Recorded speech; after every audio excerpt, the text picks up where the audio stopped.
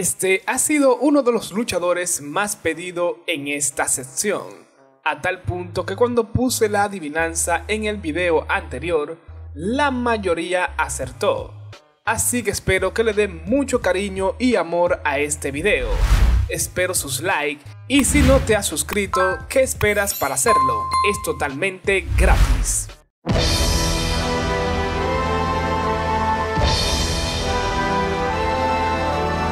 Bueno, ya era hora de hablar de Mordecai.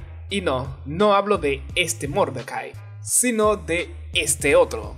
Mordecai inició su carrera en WWE en el 2002, debutando en el Centro de Desarrollo de Ohio Byron Wrestling.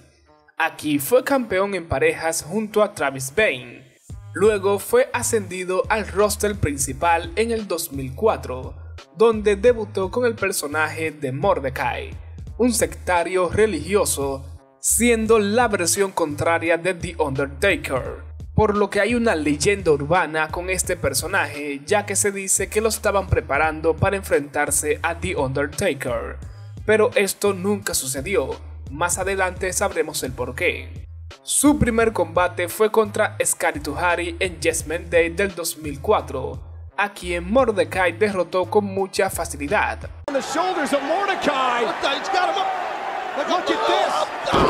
Tras eso comenzó un feudo con Hardcore Holly, diciéndole que lo iba a crucificar para purificar sus pecados.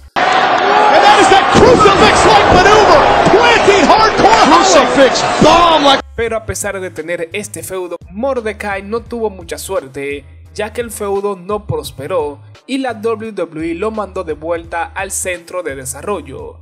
Al parecer no vieron progreso en él, y por este motivo fue que se deshicieron de la idea de enfrentarlo con The Undertaker. Luego de pasar una nueva temporada en el centro de desarrollo, fue despedido. Tras un año fuera, Mordecai regresó, pero esta vez con un nuevo personaje, el cual ahora era un vampiro y fue directo a ECW. Originalmente el plan era crear un grupo con él, Gangrel y Ariel, pero Gangrel fue despedido de la compañía por tener algunos problemas, así que Mordecai y Ariel se quedaron solos. Ahora con Ariel cambió su nombre a Kevin Thor. Ya con esta nueva faceta, Ariel y él implementaron el terror en la marca ECW, Así que iniciaron un feudo con Mike Noss y Kelly Kelly, que los llevó a enfrentarse en December to December del 2006. La lucha la terminaron ganando Kevin Thor y Ariel, luego de que Mike Noss abandonara a Kelly Kelly. Pero tras el combate, The Sandman atacó a Kevin Thor, iniciando un feudo con este. Durante su feudo con The Sandman, Kevin Thor se alió a Lilla Borker, Marcus Corbin y Matt Striker, así formando el grupo llamado New Breed, quienes tenían la misión de erradicar a los ECWs originales, que eran The Sandman, RBD, Sabu y Tommy Dreamer. Esto llevó a que ambas facciones se enfrentaran en WrestleMania 23, donde los ECWs originales derrotaron a New Breed. Luego de eso, el grupo incorporó a un nuevo miembro que resultó ser CM Punk, quien tras durar dos semanas en el grupo los traicionó, destruyendo el grupo por dentro. Así que Kevin Thor volvió a su carrera en solitario junto a Ariel, pero poco después Ariel fue despedida de la compañía.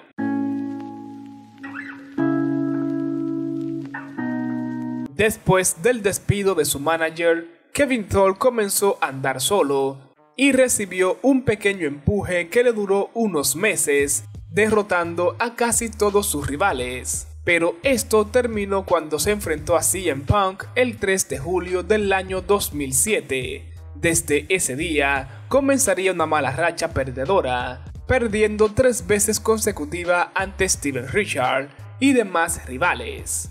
El punto fue tan crítico que fue enviado nuevamente al centro de desarrollo, donde volvió a durar una temporada más hasta que nuevamente fue despedido el 9 de enero del 2009. Y bueno, ¿qué pasó con Kevin tras su despido de WWE? Pues no mucho.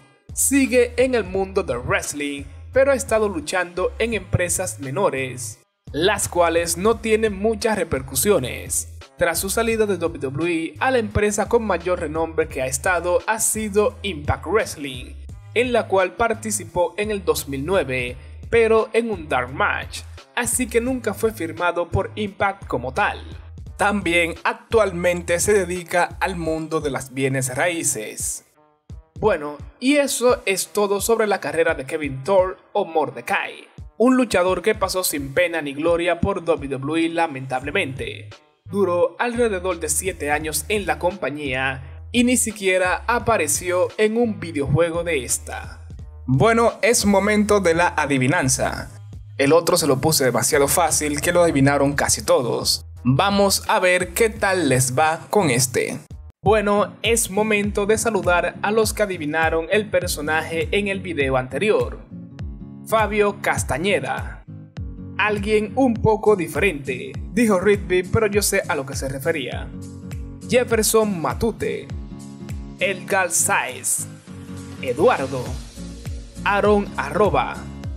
Ángel Aguayo Núñez. Daniel Anton, Edward Eddie Clark, Jaime Ariel Bravo Pineda, Iván Izquierdo Querrol, The Fabi 28, José Carrera, Gatito Gamer, El Diario de Yuquitero, NG Design, David Jefe, Charlie Ramírez, C. Augusto Fe Florian y César Cuba. Y hasta aquí este video, espero que te haya gustado. No olvides suscribirte, darle like al video y dejar tu comentario. Bueno, nos vemos en la próxima.